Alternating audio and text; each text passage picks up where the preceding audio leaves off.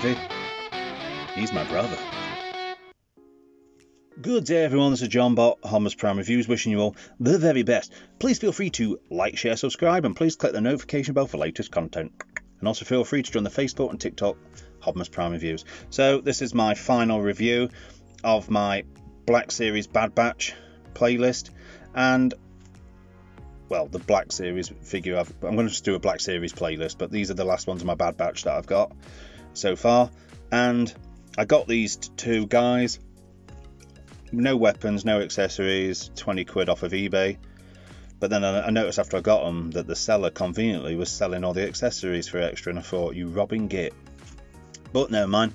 As you can see, it does have a gun, which if you've seen my Hunter, uh, my Wrecker review, this was the gun that came, I brought from a kit, and I painted it. And I, that gun that Hunter has was actually Wrecker's a stock gun, but I gave him the bigger one because I thought it and felt it fitted him better. So let's just get into it. So as you can see, this is Hunter, and he's got his birthmark sort of paint on his face tattoo going on in his face. I think it's a tattoo, and he looks awesome. He's got his bandana like Rambo. He does have, I mean, I don't know if it was meant to have that because obviously this is used, it's not brand new. But he, he is missing his backpack. Didn't come with his gun or his knife, which I'm annoyed at. But I was hoping the third party kit I bought came with his knife, but it didn't, and the backpack didn't have a peg, so that was slightly annoying. But he is a good figure. He does have an ab crunch. Head again, awesome articulation on a wiggly waggly ball joint. Arm all the way out to side. 90 degrees at the elbow, full spin.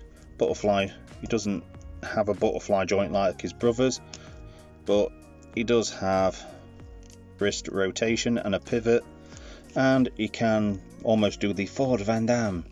And he can kick his legs out like that, and his legs can go like that, like he's running, like he's power sliding in to save Omega.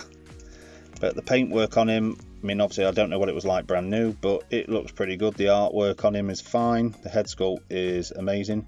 And as I say, I've gave him Wrecker's gun because Wrecker has the aftermarket gun, which I thought was bigger and it suited him better. So there he is. So he's got his detail on his shoulders and the skull. It looks very good. And he, oh, by the way, does have ankle pivot and thigh rotation. I don't know if I would have said that. But yeah, but that's Hunter and he looks pretty sweet. So, sorry BZ, as you can see this is the crosshairs that came and one thing I don't like is when you put that up straight, you get his leg straight for position, his kneecap of his armour goes around there. But I suppose that's what would happen with the armour. But again, same articulation, so I'm not going to really go into that much because I don't want to drag the review on for you because I don't want you to get bored. So Again, similar paintwork, looks very good. The head sculpt is very good. Good soldiers follow orders. He looks very good. He's got his like shotgun clip there. I say, he's missing his gun, missing a backpack. Didn't come with it. I mean, I did get a third party kit as I've shown in a previous review, and I painted it. It's not fully painted yet, but this was for Hunter.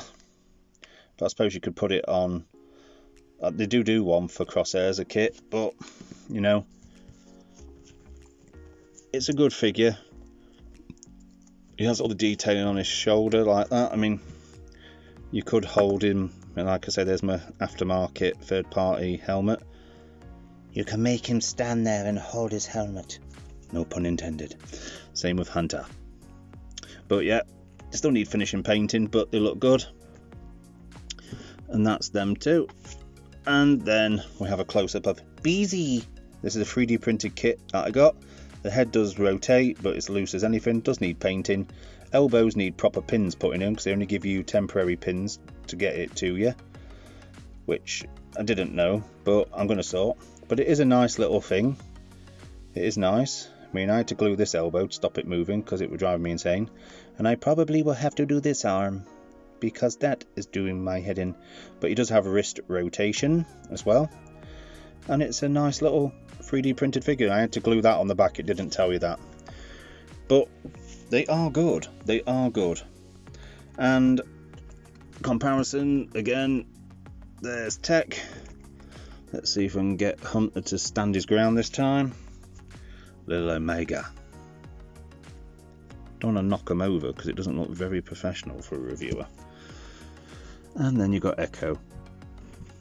Know, like them. I'll put Ruby in there as well. But there you go. That is the full Bad Batch. And I'm going to go straight to my final thoughts now.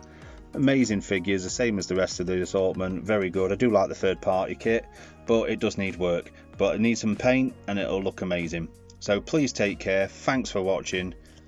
This is John Bot saying, till all toy lovers are one. Scooby Doo ending.